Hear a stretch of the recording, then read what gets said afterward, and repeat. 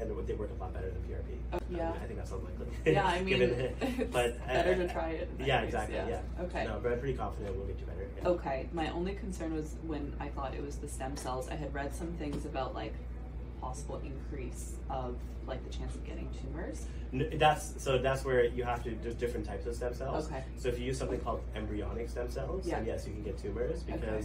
those have uh, what's called uncontrolled proliferation, which means they can keep growing. Right. Right. But we, we don't use embryonic. We use something called mesenchymal stem cells. Okay. Uh, which are basically from umbilical cord tissue or from fat or from bone marrow, mm-hmm. but they mm-hmm. have a finite capacity to proliferate. So meaning okay. they can only differentiate so much, and then they stop replicating. Oh, that's and then, good to know. And then okay. you so it will not cause tumors. Okay, zero percent chance. Zero percent chance that yeah. Amazing lot of people think, oh, am I, the two most common things is like they worry about is like cancer or foreign genetic yeah, material. Yeah. But neither of those are a concern because I just explained why the tumors, but the yeah. foreign stuff because the stem cells only going to stay in your body that long, but they send signals to your own body.